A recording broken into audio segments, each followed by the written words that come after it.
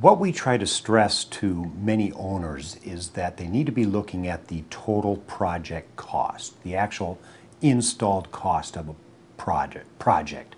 And, and that's the key. And what we have found over the years is that when we, a dollar spent in a fabrication shop is less than a dollar spent in the field. And what I mean by less, you get more for that dollar. We can do more in the shop faster in a controlled environment than you can out in the field.